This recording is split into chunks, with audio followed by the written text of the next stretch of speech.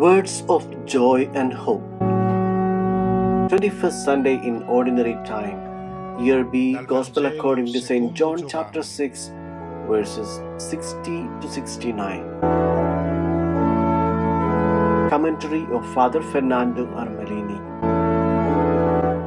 A good Sunday to all. We often hear repeated bitter considerations about the present situation of our church. The time is undoubtedly difficult.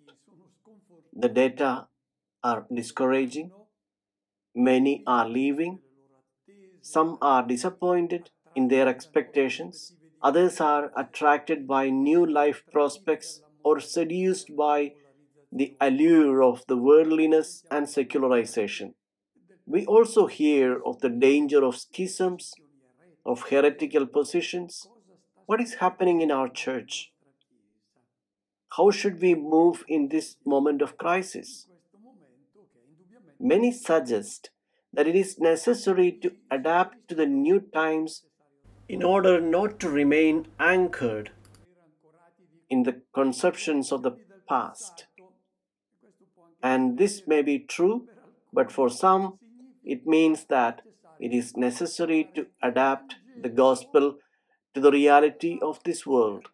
Certain principles, certain values preached in the past are no longer in fashion today. So we have to resign ourselves to the reality of the situation. Otherwise, we will be branded as medieval retrogrades. This is one answer. Others instead denounce the dangers of syncretism with the world, with other religions, and put a guard on the dangers uh, of the dominant culture, the danger of compromising with the logic of this world that has nothing to do with the logic of the gospel. Today's gospel passage provides us with a precious light to help us read the ecclesial moment we are living. In the last few Sundays, we have listened to and reflected on the discourse pronounced by Jesus in Capernaum.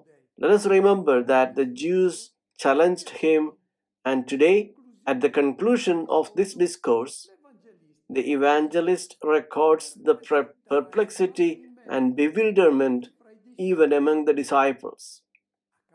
In Capernaum, something very similar to what we are living today has happened. Let us listen. Many of his disciples who were listening said, This saying is hard. Who can accept it? To this point of his discourse, Jesus' interlocutors were the multitudes and the Jews who, from the beginning, refused to accept him. They could not accept that he was presenting himself as the incarnation of the wisdom of God. Now, the interlocutors change. The disciples enter the scene. The ones who have given him their adhesion they have believed in him. What happens now to the disciples? They realize that there has been a misunderstanding. They gave their support to Jesus thinking that they would receive from him honors, glory, riches, success. And now they do not receive these things, but they are invited to give their lives not to be served, but to become servants themselves. And this was not what they had in mind. They had other dreams. At this point, they draw very bitter conclusion. They say, this word is hard. Who can listen to it any anymore? What is this hard word? The word of Jesus had been hard from the beginning for the multitudes, for the Jews who had immediately rejected the affirmation that Jesus was the successful man, the perfect man. The disciples now experience the harshness of his word when he said that it was necessary to assimilate his flesh. The flesh is not the muscles, but his person. It is the wisdom of God who became man in a carpenter, assumed all the frailties of our human condition, and when they realize this, they say it is hard proposition, skleros in Greek. It is like when someone suddenly bumps into something they didn't expect and get, gets hurt. He was distracted and now wakes up because he was bumped into something hard.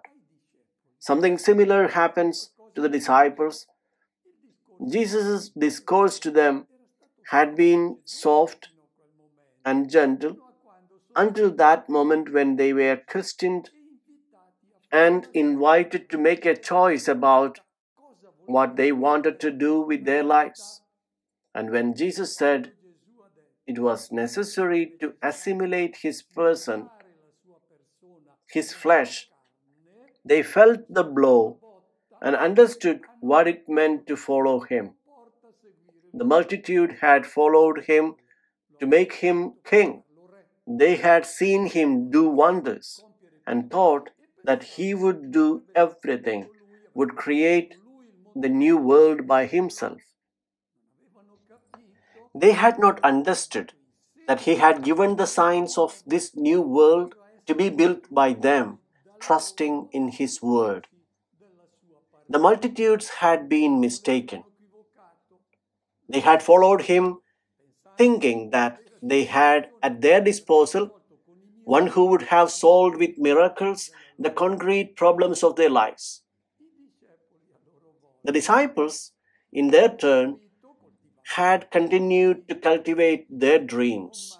In short, they expected favors for the perishing life, and now they understand, and many disciples turn away. It is too hard, this request that he makes.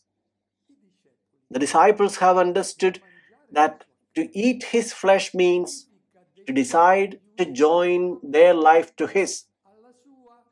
And when this is understood, the conclusion can only be the one reached by Jesus' interlocutors in Capernaum. Let us try to make a small verification from our own lives of what happened to the disciples in Capernaum. Those disciples are us. The first question approaching Christ, have we experienced the hardness of what He asks of us? Have we felt the hardness of the, this blow, this pain, because we have crashed against something hard? If we think that adhering to Jesus means some prayer, some good deed, some signs of the cross, a pilgrimage, these are all good things. But it is something soft. If we stop at these practices, we have not yet crashed against the proposal of the gospel. The crisis becomes inevitable when we understand what his beatitudes mean. Then some realize that perhaps they have cultivated some wrong expectations. Let us ask ourselves what do we feel when we approach the Eucharistic banquet? Is it a sweet, soft experience, an intimate experience, or is it a hard experience? If it is soft, intimate, we have not understood. Look at that bread that is Christ. What does that bread that is Him say to you? He says to you, I have become bread I have given all of myself. I have offered myself to you as food for life. I have made myself a servant. Then, do you want to join your life to mine? Do you also want to give your life to your brother or sister, even if he or she is someone who has hurt you but who now needs you? Are you willing to give your life for them? If you understand this, you realize that the decision you are going to make is a hard one. If you feel the pain of having come across with this request, then you understood what the Eucharist is. If you do not feel this hardness, then you approach the Eucharist without fruit. Then there is another check that many Christians have yet to make. They are the ones that look like to the multitudes of Capernaum, those who live in equivocation. They expect from Jesus what he never promised and will not give. They come to Jesus because they think that from him they will receive some advantages in life. He will save them from difficulties of life, which many times is difficult in this world because there are sicknesses, pains, trials. As they pray to Jesus, they think they will be privileged. When they understand that Jesus teaches us not to receive but to give, to become poor, to be left with nothing because we give everything out of love, then when Christians collide with this request, they realize that it is hard. If we haven't experienced the pain of having crashed with the gospel request, we continue to live in ambiguity. Let us now listen to how Jesus lived this moment of crisis of the disciples. Since Jesus knew that his disciples were murmuring about this, he said to them, Does this shock you? What if you were to see the Son of Man ascending to where he was before? It is the Spirit that gives life, while the flesh is of no avail. The words I have spoken to you are spirit and life. But there are some of you who do not believe. Jesus knew from the beginning the ones who would not believe and the one who would betray him. And he said, For this reason, I have told you that no one can come to me unless it is granted him by my Father. There was the rejection, the stiff and determined opposition on the part of the multitudes and the Jews.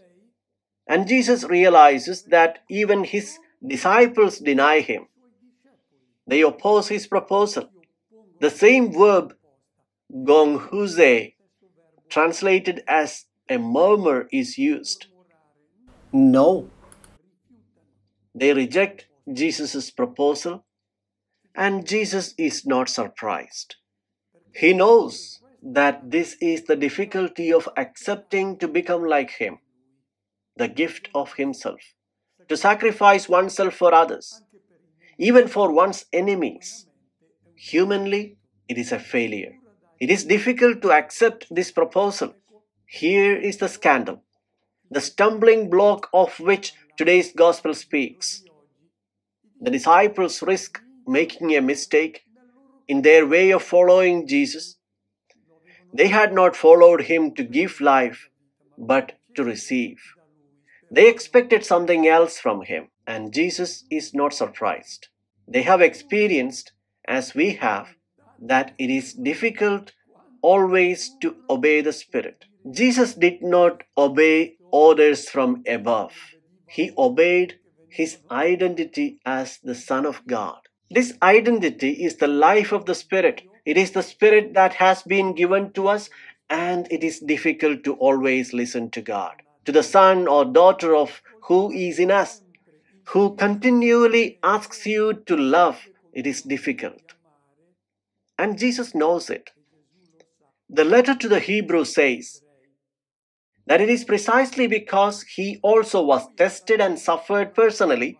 For this reason, he can come to the aid of those who must undergo the same trials. Also, in chapter 4 of the letter to the Hebrews, It says that Jesus is not someone who does not know how to sympathize with our frailties because he was tested in everything as we are. The only difference is that he always followed the Spirit while we often make mistakes. Instead of mitigating his request, Jesus accentuates it.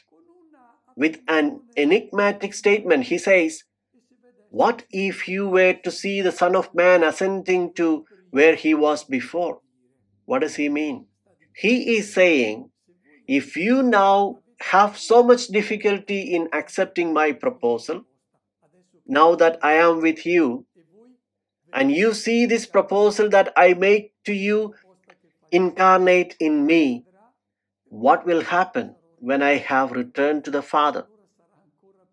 Then it will be even more challenging to adhere to my request to donate your life. This difficulty is present in the community of Rome when Peter writes to the scattered brethren in Pontus, Galatia, Bithynia, Cappadocia, who are persecuted because of their faith in Christ. It is found at the beginning of the first letter of Peter. It says, Though you have not seen him, you love him.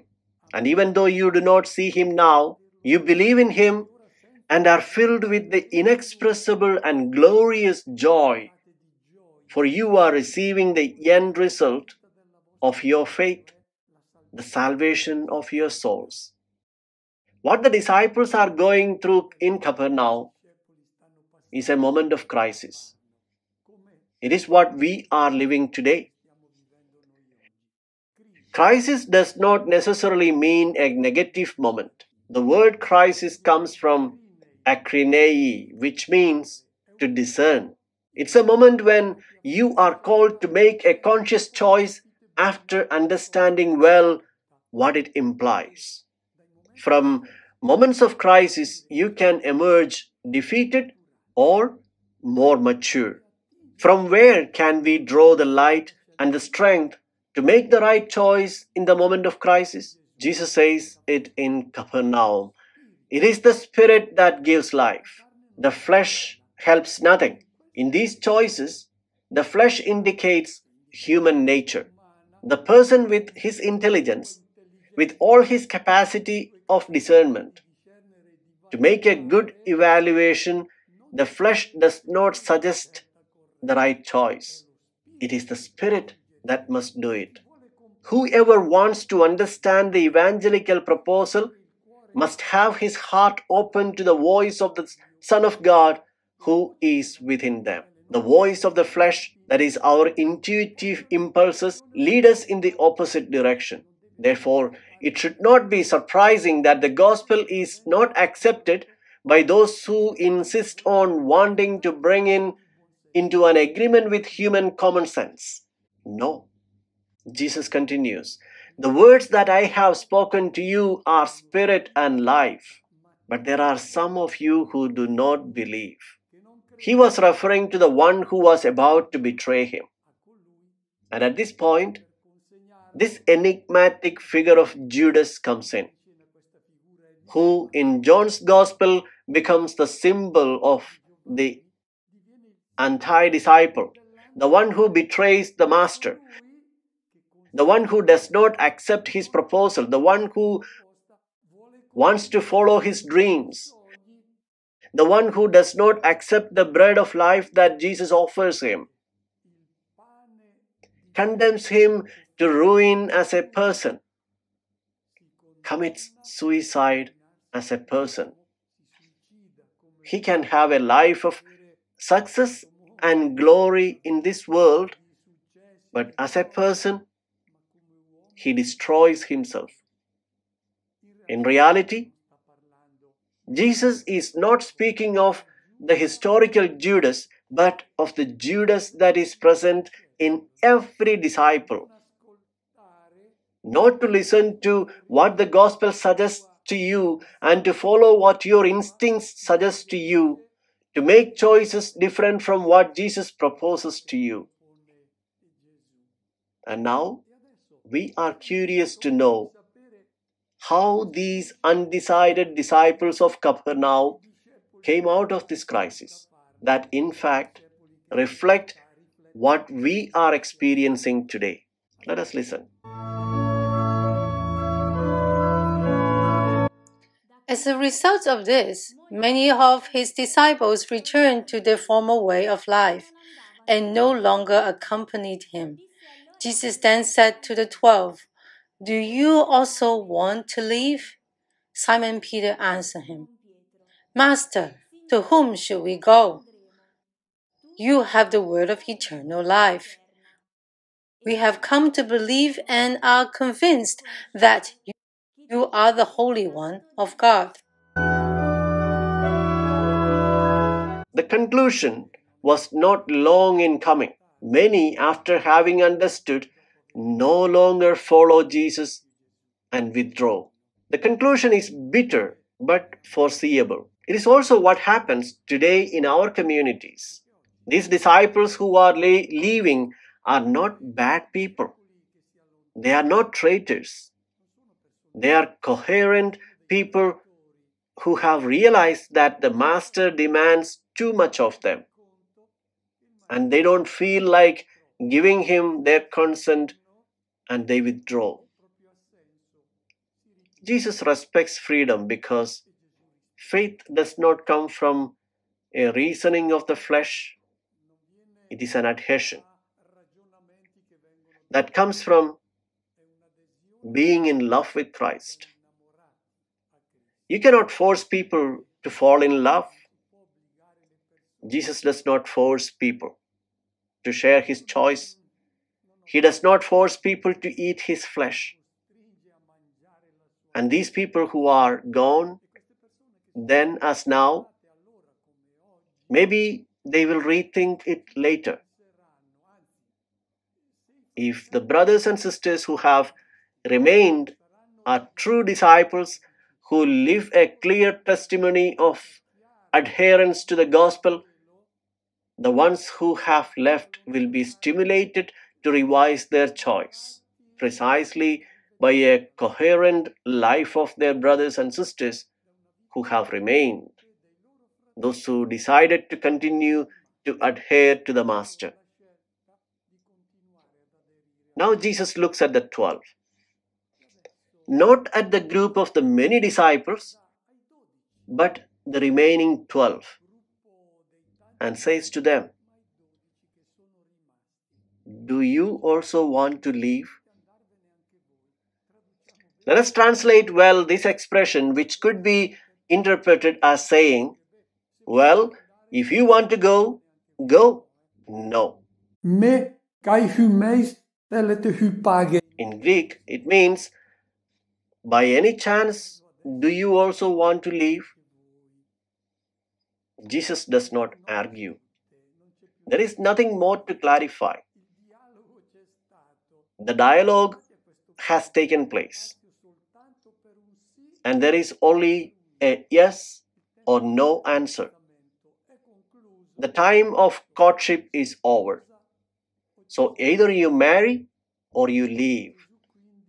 Jesus provokes the twelve not to push them to leave, but to make them aware of the choice that the true disciple must make. On behalf of all, Simon Peter responds and adheres to Jesus' proposal. Peter loves Jesus and his words, even though he has not yet fully understood them. Exactly as it happens with us. We have felt the hardness of his invitation. We do not know all. We have not yet understood all, like Peter, but we are in love with him. We trust in him. We give him our adhesion. These disciples of Capernaum, just like us, are not perfect, have not understood everything, but they celebrate the Eucharist by giving their adhesion to Jesus, even though they still have many questions and many doubts. Peter says, We have believed, we have trusted in you, and we continue to trust in you. We have come to believe and are convinced that you are the Holy One of God. Holy One means something different from what we imagined. It begins in their minds, in their hearts, and the adherence to the true face of God, which they have begun to grasp in their Master. I wish you all a good Sunday and a good week.